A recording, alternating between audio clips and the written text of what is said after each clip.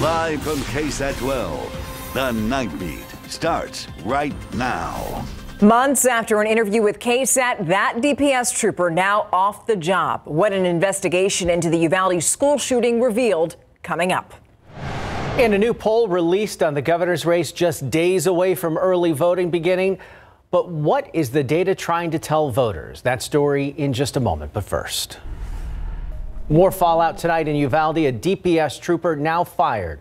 Sergeant Juan Maldonado is one of seven members of Texas DPS troopers under investigation by the agency's inspector general. Now we're learning that his case was actually the first to be completed and he's the first one disciplined. Back in June, he told KSAT that he was good friends with Eva Mireles and he was there during her final moments. She, of course, was one of the teachers who was killed during the shooting.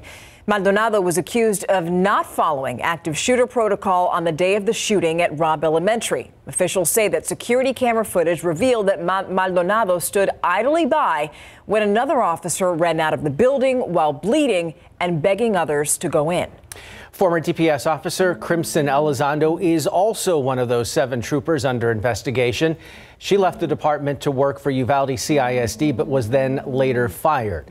We're still waiting for the inspector general's final report on Elizondo to wrap up and be released. We will, of course, keep you updated. Switching gears now, the countdown to the polls on Monday. Early voters are going to cast their ballots in several races, including the one for governor. But will the votes reflect what a new poll is revealing in the matchup between Governor Greg Abbott and his challenger, Beto O'Rourke? The night team's Alyssa Cole spoke with a political expert about key issues impacting this race.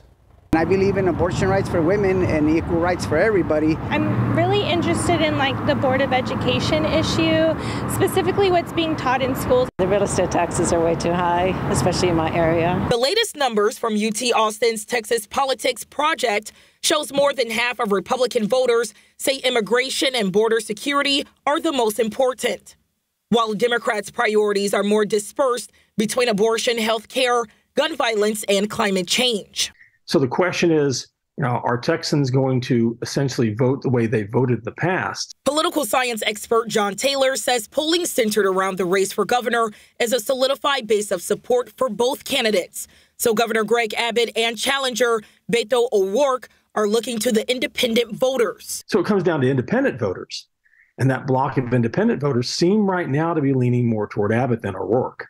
Abbott is leading by 11 points in this poll, but Taylor explains this snapshot of numbers cannot predict the future. Next week, there could be another poll um, that all of a sudden shows Abbott with a four point lead. You know, polling is, is, is a snapshot as much as it is anything else. It's a snapshot in time, depending on when and where you're doing this poll.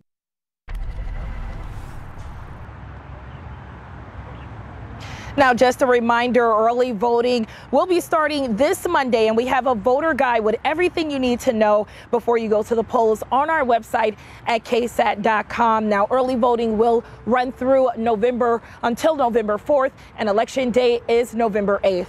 Alyssa Cole, KSAT 12 News. Alyssa, thank you for that. Another news now. A local vice principal wants a public apology from the Bexar County Sheriff after a case against her was dismissed. You remember this story back in April. Tara Hunter was arrested and cameras were rolling as deputies led her into the Bexar County jail to be booked. A five year old student said that she had pushed him into a filing cabinet in her office. That's something she said never happened. The Bexar County Sheriff held a news conference back then. And last month, prosecutors dismissed that case because there wasn't enough evidence. And now Hunter wants the sheriff to come back and hold a second news conference, this time she wants him to clear her name. I do not feel vindicated because the same atmosphere and platform that I was smeared on has not been wrong, has not been made right. So Hunter is planning to return to work at a new IDEA campus, but she's worried that some parents will still believe the original accusation. Now to an ex-Border Patrol agent on trial for a string of murders. Today, jury selection began right here in Bexar County. Juan David Ortiz lives in Laredo, but his case was brought here after a judge granted a change of venue in the case. He is accused of killing multiple sex workers. The trial isn't Ortiz's only connection here to San Antonio. He obtained his master's degree from St. Mary's University And he was also accepted to the San Antonio Police Academy, but he turned down their offer to work with Border Patrol instead. Ortiz was also a husband, father, and Navy veteran. Investigators interrogated him after his arrest for nearly nine hours. They say he admitted to killing the sex workers to, quote, clean the streets of Laredo. His trial set to begin here November 28th. Now for a look at today's top headlines in your Nightbeat News Flash. Remember that San Antonio child psychologist arrested on a child sex abuse charge? Well, even after police arrested him, he still had a contract with Child Protective Services. Dr. Timothy Kimball was arrested for indecency with a child by contact on August 24th. KSAT obtained a letter showing the state didn't terminate Kimball until this past Wednesday, a day after KSAT reported the arrest. The state says that Kimball didn't tell them about the arrest despite being required to do so. So here's one time that FaceTime actually helped during a crash. A teen was saved from a rollover crash after a girlfriend of one of the passengers in that car noticed that something was up during the call. You know, when you crash, everything goes forward, and like I, I saw them like go forward, and then you could hear it, like if they hit something. So that's Sierra Martinez. She says that she woke up her mom, called 911, and drove to the crash site on Loop 1604 near Braun Road. Now, one of the victims was rushed to the hospital with a puncture wound. Martinez's boyfriend, who was a passenger in the car, actually got up from the wreckage on his own. Pretty lucky. Police think the driver may have been speeding right before the crash, but they got help quickly. A federal appeals court has placed a temporary hold on President Biden's student debt relief program. It's a case that brought on by six Republican led states. That order prohibits the White House from canceling loans covered under the new forgiveness policy as the appeals court considers the GOP states' challenge to that policy. The states argue that the Biden administration doesn't have the legal authority to grant broad student loan forgiveness. A district court dismissed the case earlier this week, ruling that the states did not have the legal standing to bring the challenge. So now we're going to have to wait and see how the appeals process plays out. And that's a look at your Nightbeat News Flash. Okay, now we're going to take a live look outside right there where the parking garage for San Antonio Zoo is lit up in pink. Why? Well, it's for Breast Cancer Awareness Month. And tonight, we're hearing from a local woman who beat that disease. I can't even describe what I felt overwhelmed, shocked. And now the survivor is using her experience to help other patients. How she's stepping up to support those who are now struggling? That's next on the Night Beat.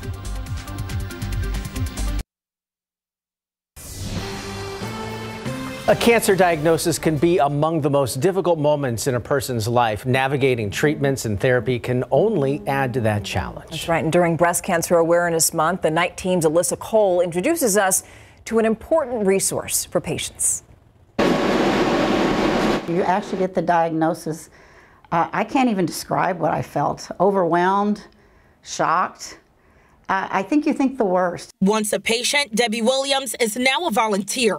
Williams was diagnosed with stage 2 breast cancer in 2011, only to be declared cancer free two years later. Tell, just telling somebody today, you don't realize how much that helps on the front end by getting those mammograms, and you don't have to go through these severe treatments. After remission, Williams started a breast cancer support group at Methodist Hospital Metropolitan. She works alongside nurse navigator Pam Coolme, who helps more than 50 patients monthly with doctor visits, treatment options, and care coordination. Once you hear those words cancer, oftentimes don't hear anything else after that. Coolme and Williams work together to guide patients through their cancer journeys while helping them minimize stress and confusion. When I talk to them, I try and um, find out what they've heard, what they've learned, and then reinforce that, and then kind of fill in the blanks because there, there's there's a lot. While the ladies' main responsibility is to help people overcome a difficult diagnosis, they're often inspired by their patient's strength. It's really hard when a patient gets starts crying and gets upset, but that's actually a good thing. Uh, they're actually finally confiding in you and and letting go, and I think that's so important. It's part of the journey that needs to be done. Nurse Coolme says she's seeing younger women in their 20s with cancer diagnosis, and she encourages all women to continue self breast examinations regularly. Alyssa Cole, KSAT 12 News. Yeah, we certainly hope that all of those women get the help that they need. All right, now we're going to take a live look outside. If we can go to that. Yes, our live cam. There we go. The San Antonio Zoo, that's the parking garage there, lit up in pink in honor of Breast Cancer Awareness Month. And, uh, you know, all this month we're hearing lovely, st- great stories of, of survivors and all of that, and just giving us lots of inspiration. So we certainly hope that everybody who's been diagnosed with cancer gets the help that they need and the support that they need. So, I'm look- Meanwhile, transitioning into weather, we are transitioning into some warmer weather this weekend. Again! Yeah, temperatures Going are on the rise again. We can say goodbye to this fall like feel just for a few days. And then next week, it returns again. And rain chances on the rise again, not through the weekend, but by Monday. Back to work, back to school, back to some scattered areas of rain. All right, let's get right to it and take a look at the overall pattern that we're looking at, what we're watching in terms of boosting our rain chances quite across the state right now, but a few factors coming together. First, you see in the Pacific Northwest areas of rain and even higher elevation snow moving in. This is a big disturbance that's dropping in, and that's going to dig southward and meet up with this disturbance just west of the Baja Peninsula. They're going to combine to head toward our way and also work with a cold front and remnant moisture from what is now Hurricane Roslyn. Category 1 Hurricane Roslyn finally getting an eye there. You can see the eye here toward the end of that lapse as it's getting stronger. Cat 1 right now, max sustained winds at 85 miles per hour.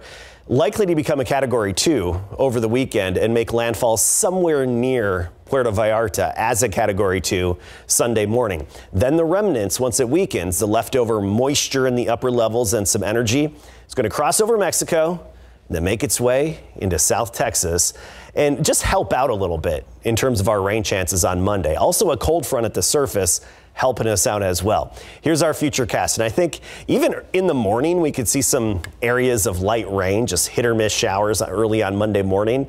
That's a result of the leftovers of Roslyn. then the cold front moves in, boosts our rain chances even more. Not the kind of rain that everybody's going to get, but I do think the best accumulations will be north of Highway 90, where you could see an inch or so in some fortunate and lucky locations. But basically, throughout the day, just some scattered showers moving through the area along with that cold front. All right, let's talk temperatures quickly. Earlier today, 56. This afternoon was 84. It was nice outside. Felt good. Well, the humidity is going to be rising this weekend. At 72 right now in San Antonio, Hondo 68, Carrizo Springs 61, New Braunfels here 71. For the most part, we're right around that 70 degree mark, but dipping into the 60s, especially in the hill country. Tomorrow morning, 62 degrees, low clouds, then a sunny afternoon and 87.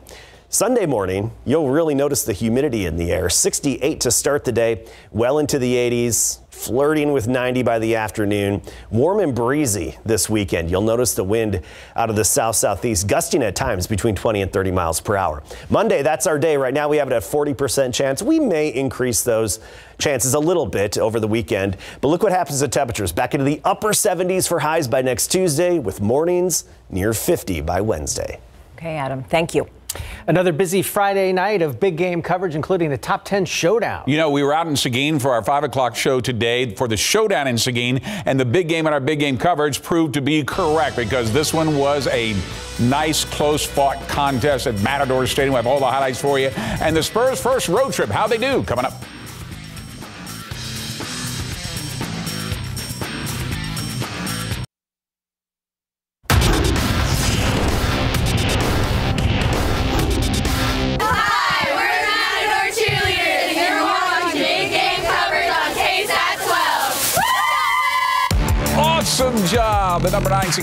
Seguin The night undefeated in District 5A Division 1. Time with Smithson Valley for first place with the number seven Canyon Cougars are right behind them, 3 1, 6 1 overall. That's why it's a big game in our big game coverage tonight. Matadors in the Canyon 7. Quarterback Corey Daly fires to Isaac Garcia on the slam for the seven yard touchdown, 7 0 Seguin. Less than a minute before half, Canyon responds. Quarterback Deuce Adams drops back, is looking deep, launches a perfect pass to his twin brother Eli Adams in the end zone for the game time 34 yard touchdown, 7 7 at the half. Third quarter, Cougars take the lead. Adams pump fakes and finds Xavion Nolan wide open at the goal line for the 26 yard score, 14 7 Canyon. The final from Seguin. The Cougars win it 27 14. Our energy changed in the second half. We came out a little slow. We came out with no energy. We came out with a little, little energy, but we weren't executing. In the second half, we came out executing and we won. All right, the Burbank Bulldog, Harlandale Indians sharing some love. Second quarter, Harlandale up 7 0. But the Bulldogs answer back. Quarterback Kevin Hernandez keeps it on the option read. Scores on the three yard touchdown. The extra point is blocked. Harlandale still leads seven to 6. Let's see who takes over second in District 14 5A. Division 2, Burbank takes it 32 22. Bulldogs take over that second place. Say hello to Highlands cheerleaders over SAISD Sports Complex. Owls taking on Lanier late third quarter. Highlands quarterback Willie Gaskin lobs a deep ball for DeAnthony Johnson. Makes a great leaping grab to set up the first and goals inside the five. Later in the drive, Gaskin calls his own number, powers in for the one-yard touchdown. Highlands leads 20 to 7. The final from the SAISD Sports Complex. Lanier comes back to take it 21-20. The Sam Houston Hurricanes, the Brackenridge Eagles on the outside of the playoff picture, trying to start the night and looking good to do something about it here. First quarter, Sam Houston on the Brack 13-yard line. Quarterback Albert Goodlow keeps it on the option read, sees a hole, races in the end zone, picking up a great Downfield block, 7 0 Hurricanes. The Eagles respond. Xavier Carmargo gets the handoff, got room to run, scores from 18 yards out untouched. Game tied at 7 to the big game coverage scoreboard to see the final on that one for you. And there it is in overtime 27 24. Sam Houston over Brackenridge, Lanier over Highlands 21 20. Elsewhere, Harlandale falls to Burbank 32 22 and 27 14. New Braunfels Canyon over Seguin. The Steele cheerleaders welcome us to Lehnhoff Stadium. Number one, Knights hosting East Central. Steele strikes first. Jadon Bailey walks in for a yard touchdown, 7 0 lead. Then the next possession, they get on board again. This time the handoff goes to Avian Farrow. He bursts through the line, steps out of a tackle there, and he's gone for a 62 yard touchdown. Nicely 14 0. They take it 49 3 over at Rutledge Stadium. Judson hosting San Marcos. Second quarter, Rattlers trailing 14 7, looking for the game time score. But the Judson senior, Kalen Carter, forces a fumble. Julius Calhoun picks it up, takes it the other direction, breaking one tackle on his way for the 37 yard fumble return touchdown. Rockets take the lead 27 21 7, I should say, and has not gone final. Is 55 35 Judson in the fourth. The Reagan Rattlers back at 12's top 12 after their win over Johnson last week. Tonight facing the Churchill Chargers. First quarter, Reagan trying to set up a screen here, but Wayne Roundtree, the big defensive lineman, comes up with the interception. Look at him go.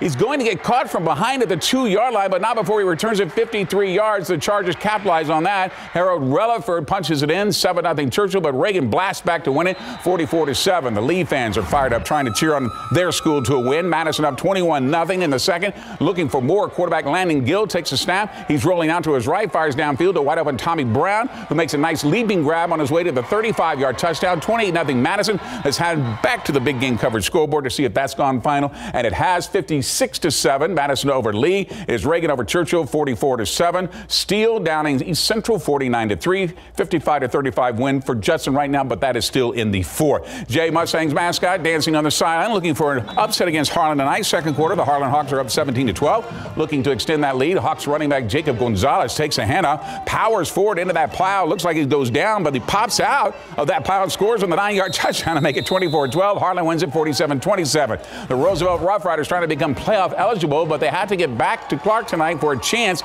Good start first quarter. The Rough Riders on the attack. Quarterback Brian Roder finds Devin Tennyson Shepard in the flat. He makes one move to the outside and gets off to the races, gets knocked out of bounds at the two. Not before picking up 26. Brennan Carroll caps off the drive with the muscles in for the touchdown 7 0 Roosevelt. Final from Ferris Clark, though, takes it 34 29. Say hello to the Titans. Southwest Legacy Stadium. Titans hosting Eagle Pass Winn. Legacy up 17 0. Late in the fourth quarter, running back Fernando Flores takes a direct snap, keeps his legs churning for the three yard touchdown. That made it 24 0. That's how they win it 24 0. Kennedy Rockets hosting the Boerne Greyhounds tonight. With The Rockets looking for their first district win. They will start from behind because the Greyhounds off to a fast start. Quarterback Jackson Bays throwing a timing route to Brandon Bays in the end zone with a 23-yard touchdown. 7-0 Boerne back to the big game coverage scoreboard for that final as well. 49-7 Boerne with the big win. Eagle Pass Winn shut out by Southwest Legacy 24 0 John Jay falls to Harlan 47-27. Clark over Roosevelt outscoring them 34-29. The Somerset Bulldogs hosting a Memorial Minutemen tonight with the Bulldogs trying to keep pace with Boerne in District 14 4A Division 1.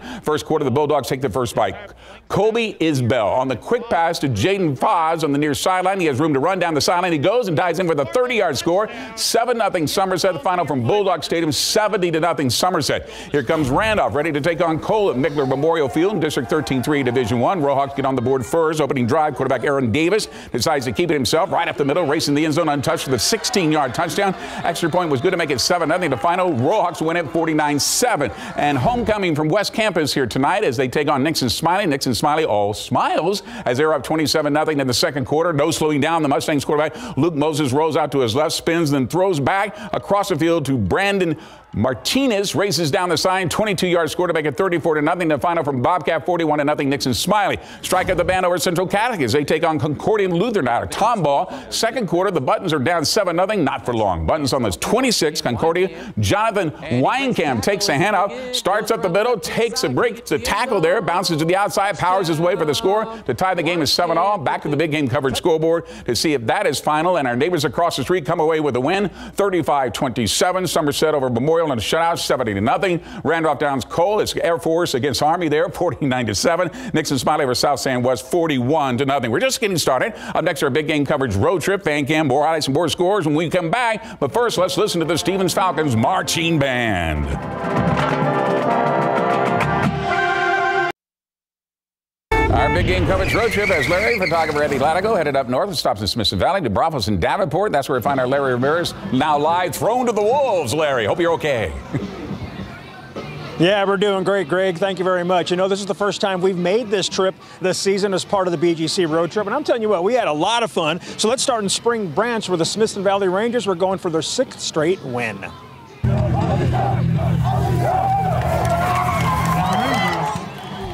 District 12 5A1 frontrunner, the Smithson Valley Rangers, taking the field to host the Boerne Champion Chargers tonight. First quarter, Rangers knocking on the door.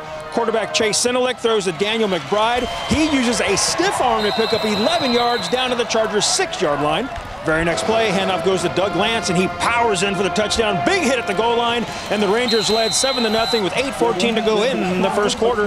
Next game has us in New Braunfels, where the Pink Crew is pumping up the student section. Always rowdy. Unicorns hosting Clemens. First quarter tied at 7. Handoff goes to Tyree Johnson. He cuts to his right. He has nothing but open field thanks to his offensive line, and Johnson takes the ball 35 yards to the end zone. Touchdown. New Braunfels takes a 14 to 7 lead with 133 remaining in the first quarter.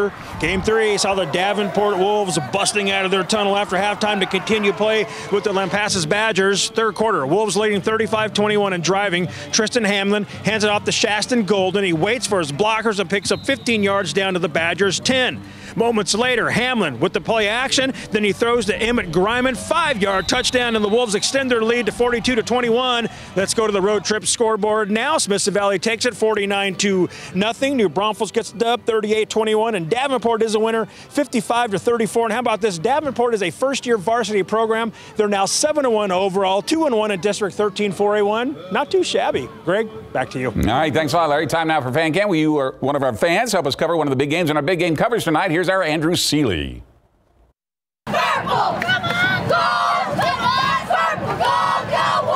Great atmosphere tonight at the Coliseum. Pieper hosting Veterans Memorial. Patriots strike first. Opening drive, handoff goes to James Peoples. He jukes to the near sideline, throws a stiff arm, and he is gone. 18 yards to the house. It's 7 0 Patriots. Warriors answer back. A few minutes later, quarterback Jake Strachan rolls to his right and slings it to Jax LeGrand in the back of the end zone. That's a seven yard touchdown, and we're all tied at seven. But the Patriots come right back down the field. Peoples again, this time knifing his way into the end zone from four yards out. Veterans Memorial leads 14 7. People scored another touchdown later in the first quarter, and as fan cam departs at the end of the first quarter, Veterans Memorial leads Pieper 21 7.